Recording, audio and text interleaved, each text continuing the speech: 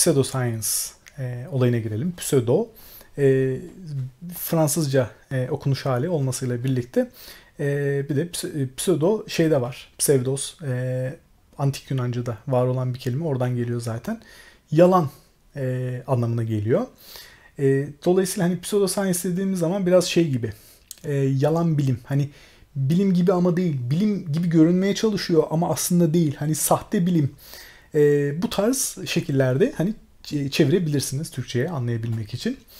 E, aslında ilginç bir konsept. Şimdi ilginç e, olmasının nedeni bende e, şu şekilde. E, pseudoscience'ın var olması aslında bilimin e, zaferine bir işaret.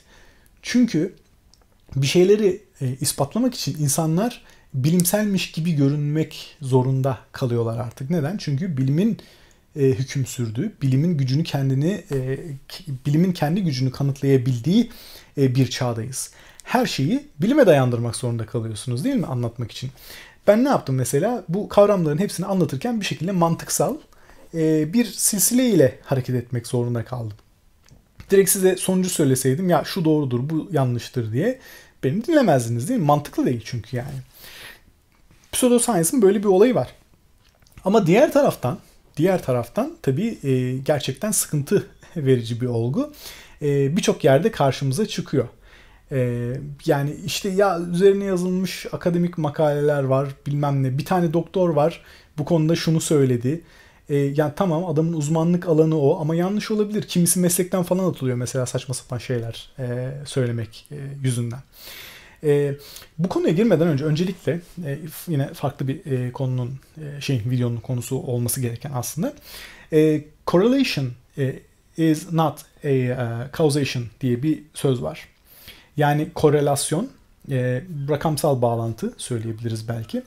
E, nedensellik değildir şeklinde. Buna örnek olarak ne verebiliriz? Ee, bir site vardı, web sitesi vardı. O web sitesinde işte aslında alakasız hani nedensel olarak birbiriyle bağlantılı olmayan e, ama e, alakalıymış gibi görünen şeyler gösteriyordu. Mesela bir tanesi, ünlü bir tanesi, çok e, komik. E, korsan sayısının dünyada azalmasıyla e, küresel ısınma ters orantılı. Yani demek ki e, dünyayı küresel ısınmadan korsanlar koruyormuş şeklinde bir e, anlam çıkarabilirsiniz ama yanlış. Neden yanlış? E, çünkü ikisi aslında zamana bağlı. Yani zaman ilerledikçe oluyor. Buna benzer bir şeyi de şöyle e, kurabilirsiniz. Diyelim Putin gelip size şey diyebilirdi. E, ya bakın e, benim iktidarımda bayağı uzun bir süre e, iktidarda kaldı Putin.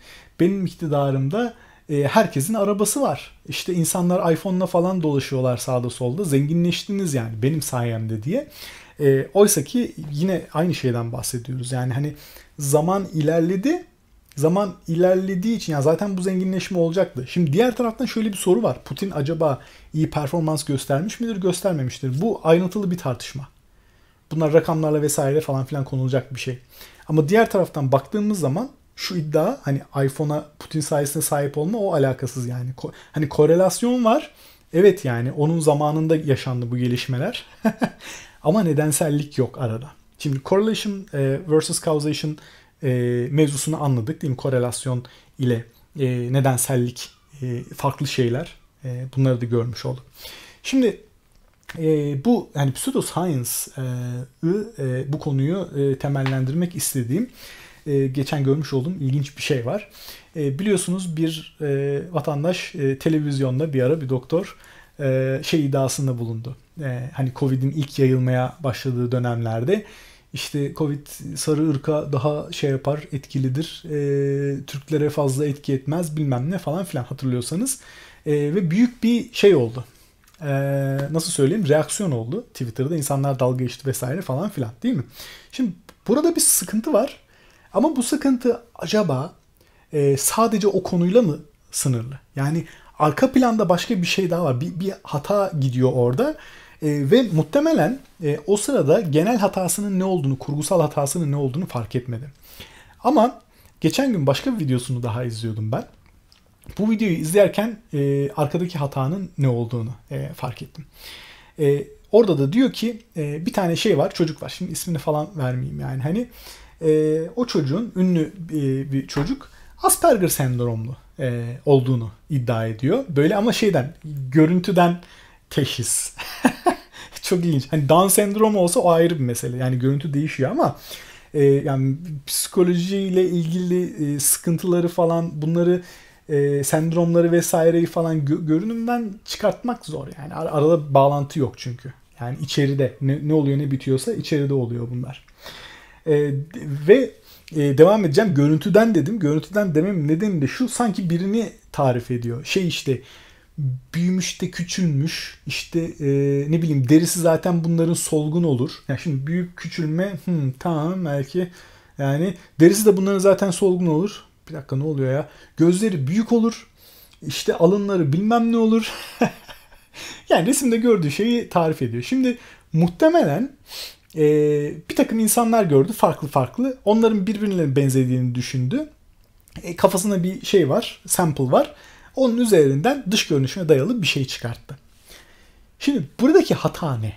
Buradaki hatayı anlamak için biraz tarihte geriye doğru gidip insanların nerede e, daha önce bir sıkıntı yaşamış olduklarına girmemiz gerekiyor.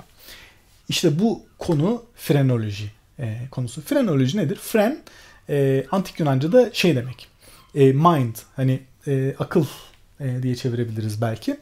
E, demek akıloloji hani psikoloji gibi e, ama biraz yanlış bir öncülü. Hani e, pseudoscience öncülü. Yani sonunda o çalışmaların başlamış olması psikolojiye neden oldu tabii ki. E, ama ilk başta bu pseudoscience e, yayıldı. E, bu pseudoscience da şununla ilgili.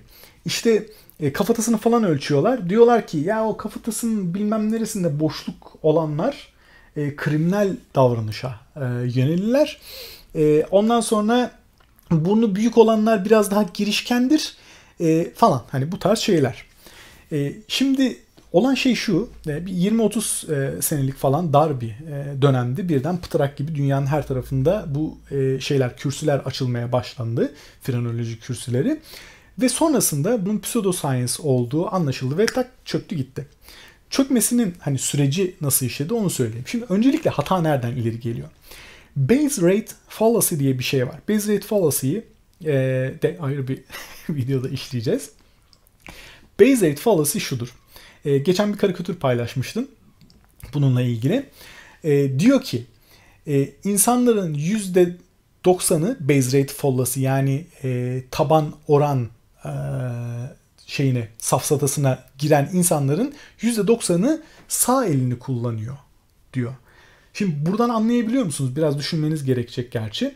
E, mevzu şu insanların zaten %90'ı sağ elini kullanıyor. Eğer e, herhangi bir konuda e, hani insanların %90'ı onu yaptığı için sağ el kullanmanın bununla ilgili olduğunu düşünüyorsanız orada hata yapıyorsunuz. İşte base rate oradaki yani taban oran %90.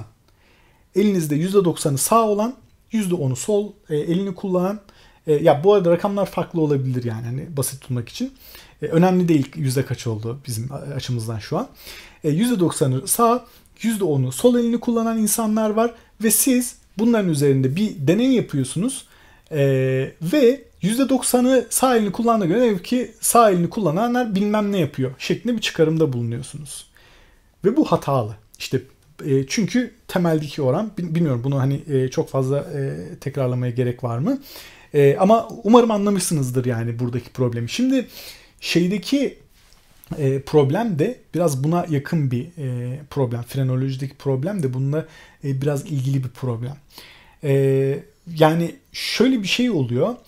E, sizin tabandaki verinizde zaten bir heterojenlik var. Homojen değil, homojen dağılmamış. Yani e, neler yapılıyor örneğin? Gidiyorsunuz insanların işte kafatasının belli bölgesini ölçüyorsunuz. E, o bölgede bir farklılık var. O farklılığın nedeni de aslına bakarsanız işte bir tane e, azınlık var. O azınlığın o kafasının orası değişik. Ne bileyim kafaları belki daha büyük, biraz daha küçük vesaire falan filan. Yani hani bir yerinde çıkıntı var bilmiyorum. E, ve e, bu şekilde hani A grubuyla B grubunun davranışlarını karşılaştırıyorsunuz mesela. Birisinde artistik e, şeyler mesela müzik yapma falan daha fazla. Diyorsunuz ki ha demek ki kafatası şu şekilde olanlarda e, müzik yapma kabiliyeti daha yüksek ve hata yapıyorsunuz. Hata yapmanızın nedeni şu. O toplumda o azınlık bastırıldığı için o yüksek sosyete işte zenginler veya artistlerin arasına görünüşleri nedeniyle sokulmadıkları için e, müzik kabiliyetlerini geliştiremiyorlar tabii. Şimdi dolayısıyla o görünüşten dolayı ölçtüğünüz şeyden dolayı e, insanlara farklı davranıyorsunuz. Sonra o farklı davranışı şeyden e, o görünüşten temellendirip çıkartmaya çalışıyorsunuz ve hata yapıyorsunuz. Peki bu hata nasıl ortaya çıktı? Şöyle ortaya çıktı. Amerika'daki ölçümleri yaptılar. Oradan bir takım çıkarımlarda bulundular. Mesela e, şey de var. Kadınlarla da ilgili e, bir takım şeyler var. Detaya çok fazla girmeye gerek yok. İşte kadınlarla erkeklerin kafatasında bir farklılık varmış.